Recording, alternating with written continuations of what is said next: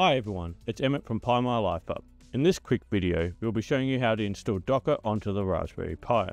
Docker is a virtualization software that allows us to run software completely contained within what they call containers. These containers can allow you to get some software up and running in mere minutes.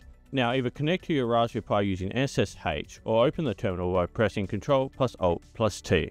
Before we get ahead of ourselves, we should ensure that our current operating system is up to date. You can update the package list by typing in sudo apt update and pressing enter. Once the update completes, upgrade any out-of-date packages by typing in sudo apt upgrade hyphen y. With your Raspberry Pi now up to date, we will want to install the curl package. This is usually installed with Raspberry Pi OS desktop, but it's not often included with the Lite variant. To ensure that this is installed, type in sudo apt install curl-y.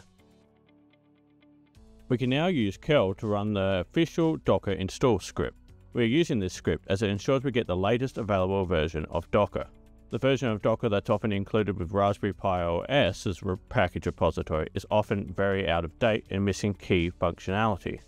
To run this script, type in curl space hyphen s capital S capital L space https colon forward slash forward slash get dot docker dot com space pipe symbol space sh.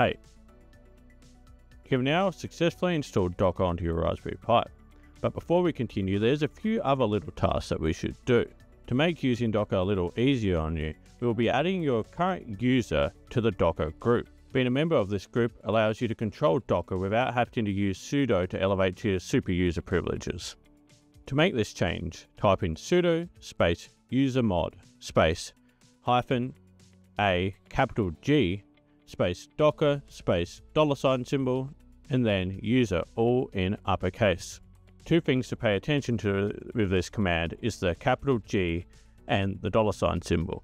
The dollar sign allows us to reference an environment variable that contains the current user's username. To ensure that all the software on your Raspberry Pi is aware of this user change, restart your Raspberry Pi by typing in sudo space reboot and hitting enter. Once your Raspberry Pi is finished restarting, open up the terminal again. We can verify that our Raspberry Pi user is now part of the Docker group by typing in groups into the terminal and pressing enter. From this result, you should be able to see that the Docker group is now listed. We can now verify that Docker has been successfully installed onto our Raspberry Pi by running a very simple hello world container.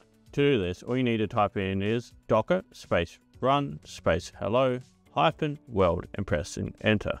Docker will then automatically download the hello world container and run it on your system.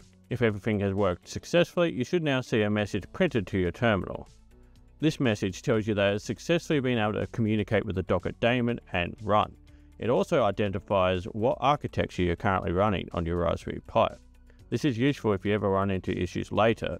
You have now, at this point, managed to successfully get Docker installed onto your Raspberry Pi. If you have any issues, please drop a comment below. If you like this video, don't forget to like and subscribe. Until next time, have a good one.